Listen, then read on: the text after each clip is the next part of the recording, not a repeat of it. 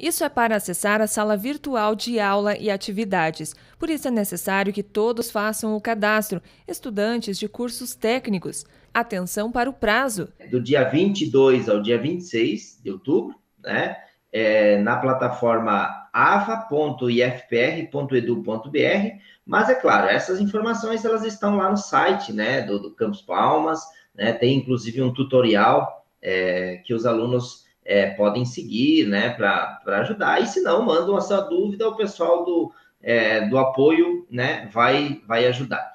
Os alunos do ensino superior também precisam fazer o seu cadastro. Inscrever-se, né, matricular-se, digamos assim, é, nas disciplinas do semestre 2021, né? Porque nós só finalizaremos o, o semestre 2021 é, na metade de novembro. Então, ainda tem que se matricular nas, é, nos componentes né, que estavam disponíveis lá no início de 2020. E para os alunos do ensino médio integrado, né, eles devem fazer, então, a, as inscrições para os componentes disponíveis no início de 2021. É que o, o, o ensino médio é anual e os cursos superiores é semestral. É importante que todos se inscrevam. É a forma de o aluno manter o vínculo com a instituição.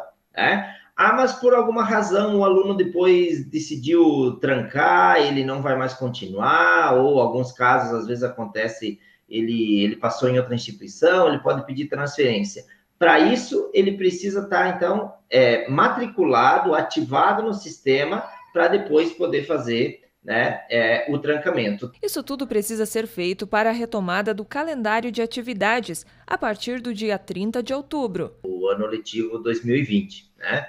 Nós tivemos com ele suspenso, depois com um período de atividades é, remotas, né, é, chamadas de APNPs, e essas atividades não eram obrigatórias, né? Porém, com a retomada, então, do calendário, agora a partir do dia 30 é, de outubro, as atividades passam a ser obrigatórias.